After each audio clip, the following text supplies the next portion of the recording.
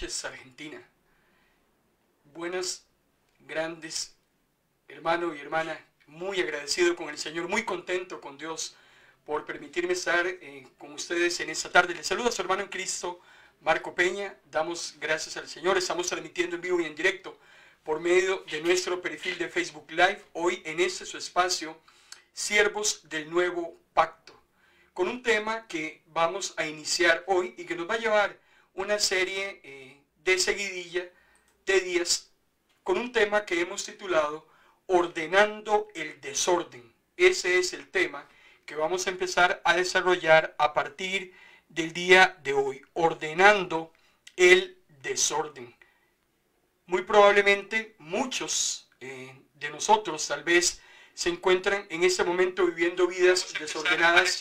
Hay muchísimos creyentes que en este momento están viviendo vidas muy desordenadas.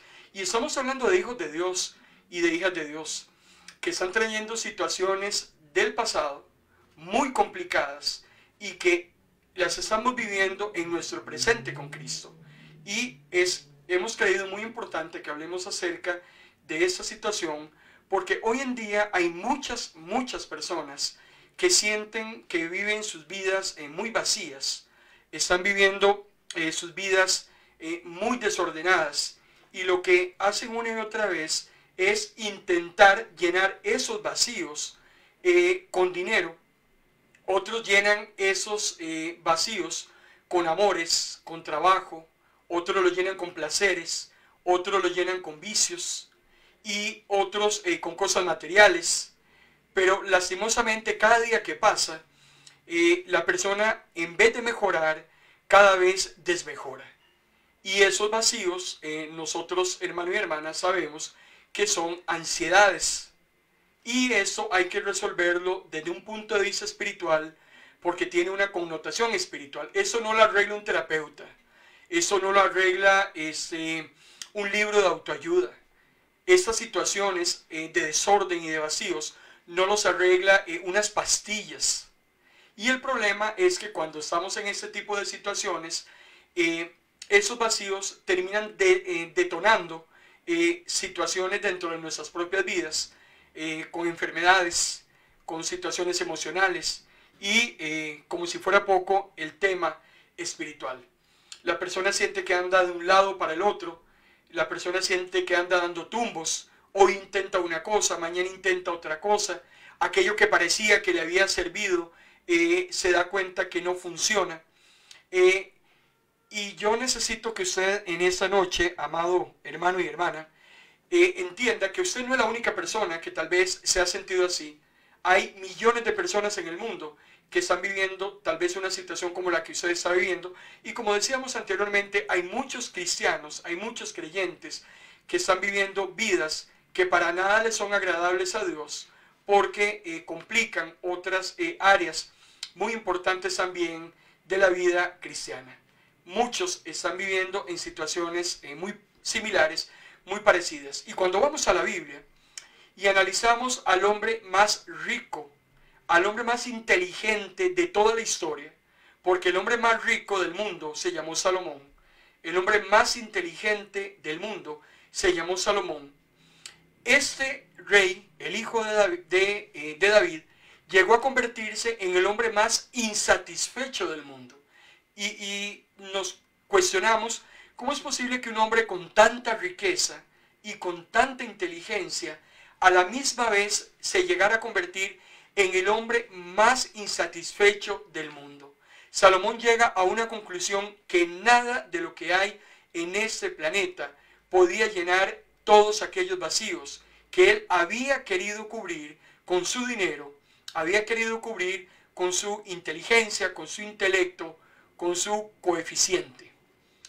Cuando usted lee el libro de Eclesiastés, escrito por Salomón, usted lee el capítulo 1, el capítulo 2 y el capítulo 3. Yo le voy a presentar un rápido resumen de un análisis que hace Salomón acerca de una serie de temas en los que él quiso incursionar, quiso conocer, quiso probar, quiso satisfacer áreas disímiles de su vida y se fue al mundo a probar una serie de cosas para ver si efectivamente el mundo le podía cubrir esos grandes vacíos que tenía en su corazón. Y dice en el capítulo 1, 2 y 3, y yo hice un, rápido resumen, Salomón dice que él se dedicó a investigar, se dedicó a descubrir, dice que hasta se esforzó en buscar todas esas alternativas que paliaran esas eh, grandes necesidades que como persona tenía.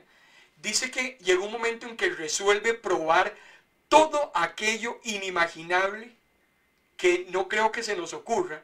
Dice Salomón que él todo lo probó y trató de hallar en todo ese tipo de cosas aquello que le pudiera saciar esa sed que el ser humano tiene por defecto.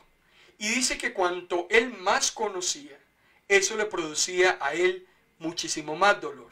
Entonces trató de alegrarse, de buscar las diversiones del momento, todos los placeres, saciarse de ocio.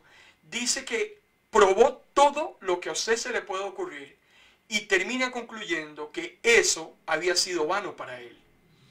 Dice que también trató de involucrarse en la risa, en la diversión, en los chistes, en los holgorios, en los memes, en los vacilones. Y dice que también eso se convirtió en una necedad. Entonces empezó a utilizar su dinero y empezó a construir todo lo que se le ocurre. Usted puede leer la vida de Salomón. Es una vida increíblemente eh, populosa, increíblemente de derroche de dinero. Si hubo alguien que gastó toda la plata que se le pudo haber ocurrido, fue a Salomón. Por eso es que Salomón es el hombre más rico y nunca habrá un hombre tan rico como lo fue Salomón. Un hombre que tenía 12 mil caballos y uno se pregunta cómo hace uno para montarse en 12 mil caballos al mismo tiempo. Un hombre que comía lo que le daba la gana. Un hombre que llegó a tener mil mujeres. Mil mujeres. 300 esposas y 700 concubinas. Es un hombre que construyó todo lo que quiso el famosísimo templo de Salomón, construyó su palacio, construyó eh, casas increíbles, edificios, recaudó dinero, recaudó granos, recaudó animales, organizó, hizo de todo. Y es muy lamentable porque este hombre tan rico y tan inteligente termina concluyendo en el capítulo 3 de Eclesiastés que todo lo que hizo le terminó pareciendo inútil que nada había valido la pena de todo ese esfuerzo en el que él se había metido durante toda su vida. Hay personas que pasan toda su existencia estudiando. Hay personas que pasan toda su existencia eh, ahorrando, guardando dinero. Hay personas que pasan toda su existencia eh, generando negocios, creando empresas. Y llegan a la conclusión, al final y al término de sus días, que mucho de lo que hicieron, o por no decir todo, definitivamente no llegó a valer la pena. Ahora, muchas veces, hermano y hermana, en nuestras vidas hay muchísimas tinieblas en el área espiritual. Tenemos muchas eh, tinieblas, como lo vamos a ver ahora, porque van de la mano con el desorden de nuestras vidas. En el área sentimental, tenemos tinieblas en el área económica, en el área relacional, en el área familiar. Y por eso es que la luz se nos ha hecho desconocido a usted y a mí en esas tinieblas. Y vamos a hablar ahora más adelante de lo importante que es la luz en medio de tanta oscuridad en la que muchas personas están viviendo, creyendo que están haciendo lo correcto y más bien cada día los va acercando más al precipicio y a la destrucción eterna. Hoy es un buen momento para que iniciemos una ruta de orden en medio del desorden de muchas áreas que tal vez estamos viviendo. Es momento de que usted y yo hagamos un alto en el camino y le demos ese lugar que hay que darle al Espíritu Santo del Señor, para que sea Él a partir de hoy el que nos guíe en toda esta travesía de orden que tenemos que llevar a cabo en medio de tanto desorden en el que tal vez estamos sumidos. Para empezar, el mundo en que vivimos es un caos total. Y nos estamos acercando a una época del año que también ayuda a que ese caos se incremente. Y por eso es que lo que tenemos que hacer usted y yo, para empezar a ordenar lo que está desordenado es primeramente llenar ese vacío que absolutamente hasta el día de hoy no hemos logrado llenar con nada que ese mundo nos ofrece. Lo primero que tenemos que hacer es producir luz en las tinieblas que tal vez está sumida nuestra existencia. Nos ven exitosos, nos ven alegres, nos ven felices, nos ven aparentemente que estamos progresando, pero hermano y hermana, yo quiero que ustedes sepan esta noche, tarde noche, que ese mundo es una pura apariencia. Usted ve a esos eh, actores sonriendo, usted ve a esos grandes deportistas, famosos, actrices, cantantes, siempre eh, contentos, pareciera como que tienen toda la existencia arreglada, pero la procesión se lleva por dentro. Muchos de esas eh, sonrisas son caretas, porque a lo interno de su ser son las personas más desgraciadas del mundo, son las personas que están viviendo vidas tan lamentables, vidas tan huecas, vidas vacías. Lo que conocemos como el éxito en el mundo es una falacia, es una mentira. Quieren hacernos creer que son los hombres y mujeres más dichosas de ese planeta, cuando verdaderamente, cuando están solos, es cuando ellos están sintiendo esos grandes huecos que no los ha podido llenar ni la fama, ni la belleza, ni el dinero, ni nada en este mundo. Por eso es que lo que ese mundo ofrece, hablando del placer, hablando del libertinaje, hablando del pecado, hablando de la maldad, todo eso que se vive en ese mundo y que ofrece ese mundo, vamos a aprender en esta tarde que es muy breve y muy fugaz. Nada es eterno. En este mundo, nada es eterno. Hoy usted tiene, mañana no tiene. Hoy parece que usted ha arreglado su situación, pero mañana se da cuenta que era totalmente una, eh, una gran mentira. Y es que el problema es que cuando queremos llenar esos vacíos con lo que el mundo nos ofrece, lo que terminamos creando es un vacío totalmente mucho mayor al que teníamos antes. Y por eso es que el apóstol Juan describe muy bien lo efímero que es la satisfacción que el mundo nos da a través de sus deleites y sus placeres.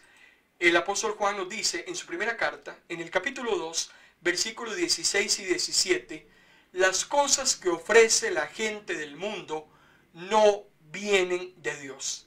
Y esa es una conclusión que yo necesito que en esta tarde, amado hermano y hermana, nos quede totalmente claro, porque lo que ofrece el mundo no viene de Dios, sino, dice el apóstol Juan, viene de los pecadores del mundo. Entonces, como Dios no quiere nada con el pecado y nada con el pecador, muy difícilmente aquello que el mundo me está ofreciendo, póngale el nombre que usted quiera, no podrá venir nunca de la mano de Dios. Y el apóstol Juan hace un análisis en esos dos versículos y los distribuye en tres grandes grupos respecto a eso que el mundo nos ofrece. Empieza diciendo que primero son los malos deseos, en segundo lugar la ambición de tener todo lo que vemos y en tercer lugar el orgullo de poseer muchas riquezas. Todo lo que el mundo le ofrece a usted amado hermano y hermana, se circunscribe en esas tres grandes áreas.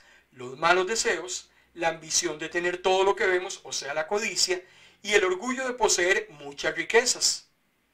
Pero dice el mismo apóstol que lo malo de este mundo y de todo lo que el mundo ofrece está por acabarse. O sea, todo lo que el mundo le pinta a usted como muy bonito, como muy delicioso, como muy exquisito, definitivamente tarde o temprano se termina acabando. En cambio, dice el apóstol Juan, el que hace lo que Dios manda va a vivir para siempre. Y por eso es que es muy importante entonces en esta tarde poder definir, separar qué cosas vienen de Dios y qué cosas no vienen de Dios.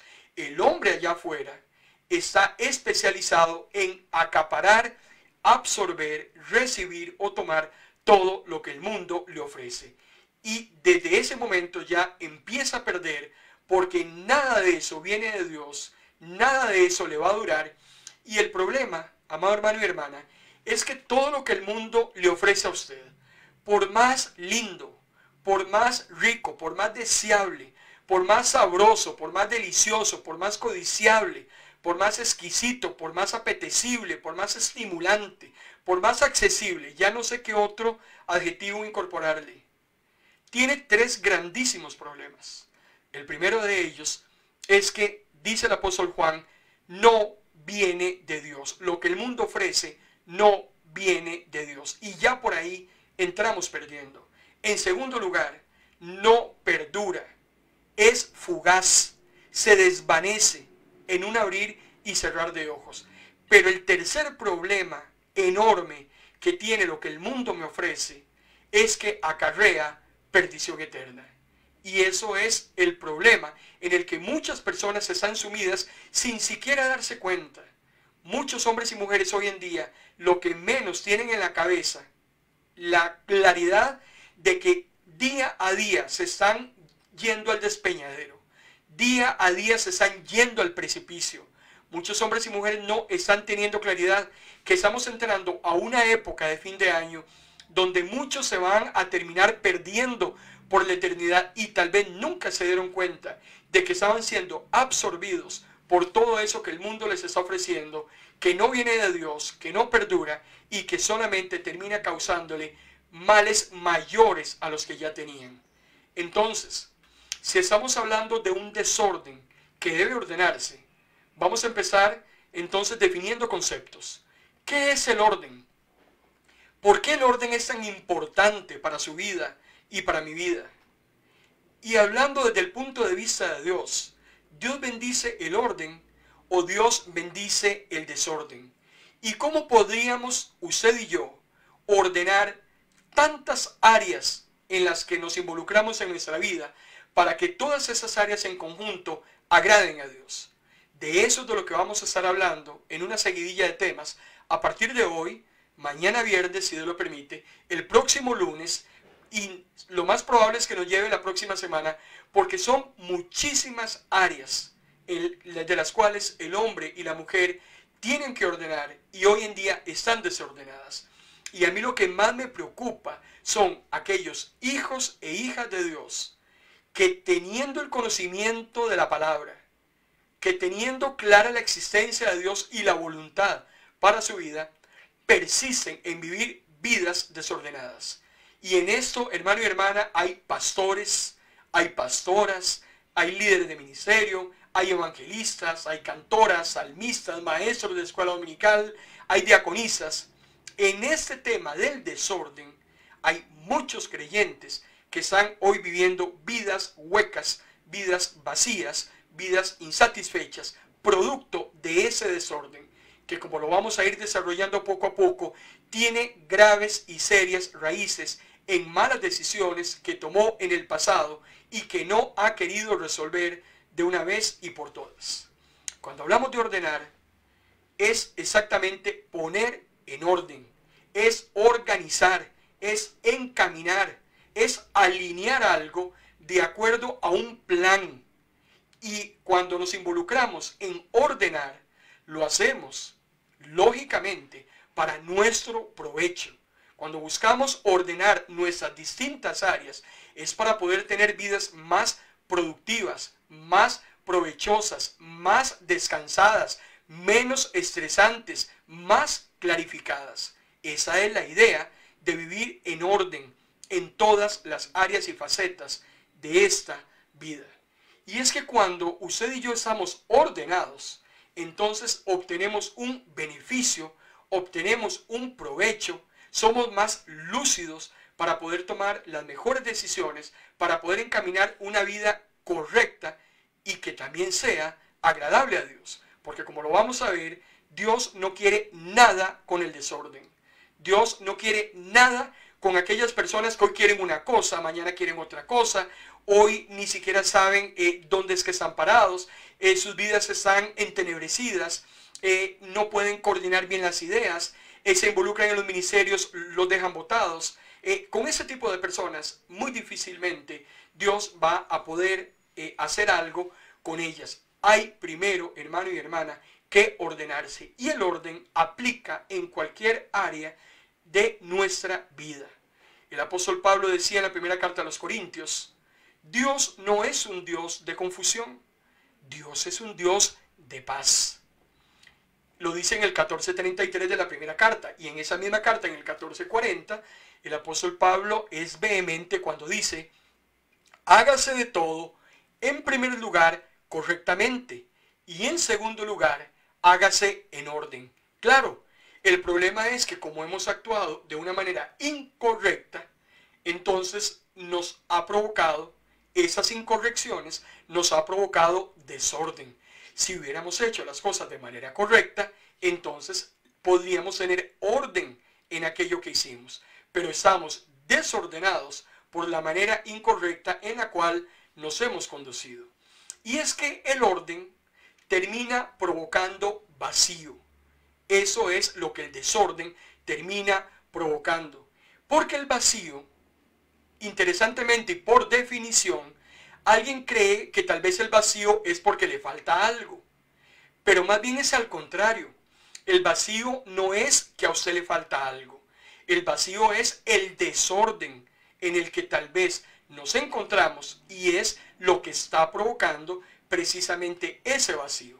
No es que yo necesite algo, es que he ido a buscar cosas para llenar a mi vacío de una manera tan desorganizada que ese vacío nunca se ha podido llenar porque no he encontrado efectivamente qué es lo que puede saciar esa sed que tengo en este momento. Entonces, antes del vacío, si usted está viviendo una vida vacía en esta, en esta tarde-noche, si usted siente que está viviendo una vida hueca, si usted siente que no va para ningún lado, hoy estudia una cosa, mañana estudia otra, dentro de un año cambia de carrera, si usted es el tipo de persona que hoy tiene un trabajo, que ayer tenía uno, que mañana lo cambia, si usted es una persona que en la parte relacional hoy está con una persona, mañana quiere otra, pasado mañana ya no la quiere porque quiere otra, si usted está en ese tipo de situaciones, lo primero que tienen que entender es que por más que usted quiera, esos vacíos no los va a poder llenar tan fácilmente metiéndole más problemas a los que ya tiene, porque ese vacío ha sido creado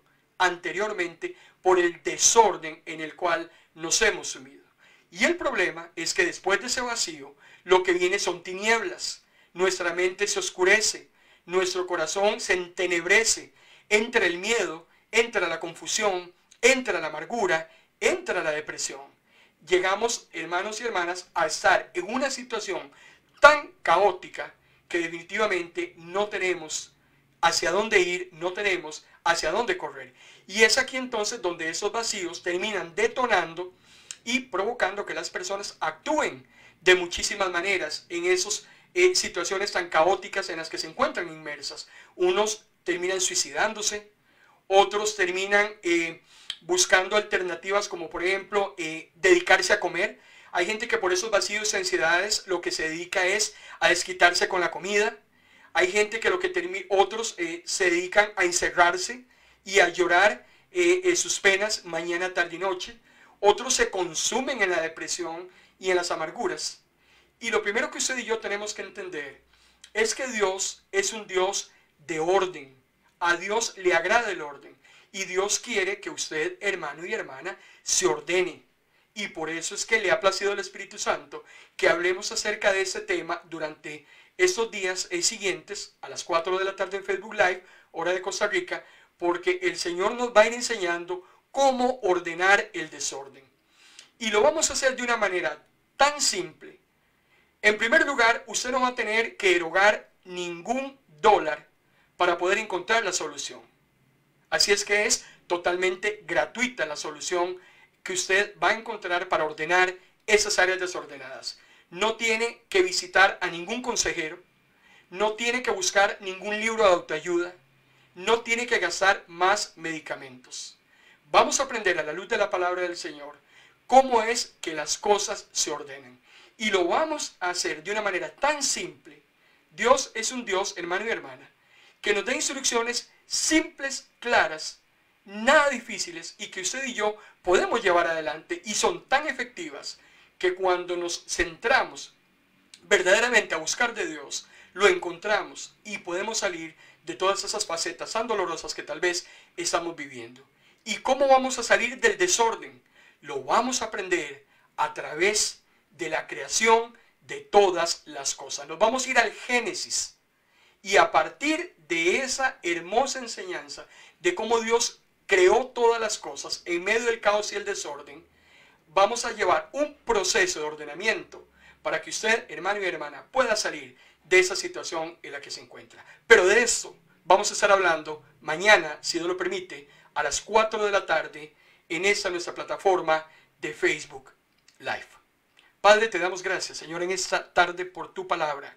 Gracias, Señor, porque tu Espíritu Santo nos va a ir guiando poco a poco, a ir encontrando esas salidas, Señor, que necesitamos para toda la problemática en la cual muchos estamos sumidos. Que sea tu Espíritu Santo el que nos guíe, el que nos direccione, el que nos lleve a toda verdad, para poder, Señor, vivir vidas descansadas, vidas realizadas, vidas agradables a ti y ordenadas en todas las esferas en las cuales nos desenvolvemos. Eso generará, generará beneficio para nosotros y va a generar también beneficio para todos aquellos que nos rodean. Te damos toda la honra y toda la gloria, Señor, que solo tú mereces. En el nombre de Cristo Jesús. Amén. Yo quiero recordarle, hermano y hermana, antes de despedirme de usted, que si Dios lo permite, el próximo 10 de diciembre, para los hermanos de Costa Rica, el próximo 10 de diciembre estamos realizando nuestro convivio navideño en el Parque Metropolitano de la Sabana a las 10 de la mañana. Tenemos un par de hermanas que están nombradas como la comisión encargada de organizar el evento y es muy importante que usted se comunique con ellas porque hay toda una logística que tenemos que desarrollar. Así es que de hoy, hoy es 10 de noviembre, de hoy en un mes, estamos de convivio todos los hermanos de Costa Rica reunidos en el Parque Metropolitano de la Sabana, vamos a tener un momento muy hermoso para poder compartir los unos con los otros. Vamos a conversar con nuestros hermanos de ministerio que están también en diferentes países. Vamos a llamarlos, vamos a hacer eh, videoconferencias para poder eh, saludarlos y vamos a tener una mañana muy gloriosa. Vamos a compartir alimentos, vamos a interceder los unos por los otros. Eh, Omarcito Castro va a predicar ese día, así es que vamos a tener un momento muy lindo. Mañana viernes, 4 de la tarde. ¿Quiere usted, hermano y hermana, salir del desorden? Porque si usted quiere seguir en el desorden en el, que se encuentra, este tema definitivamente le va a hacer perder el tiempo. Si usted quiere seguir en lo que está, no hay problema. Ya es un tema de decisión muy respetable y personal. Pero si usted quiere salir de ese desorden en el que se encuentra sumido, Acompáñenos mañana, 4 de la tarde, hora de Costa Rica, 7 de la noche, hora de Argentina. Y también invite a alguna persona. Si usted sabe que hay alguien que está en una situación tan complicada, desordenada en su vida, en muchas esferas, invítelo, porque hay una palabra de Dios para esa persona. Recuerde, si usted tiene información que puede salvar una vida y no la suministra, es un crimen. Así es que ayudemos a otros que también necesitan de la palabra del Señor. Que Dios los bendiga en esta tarde.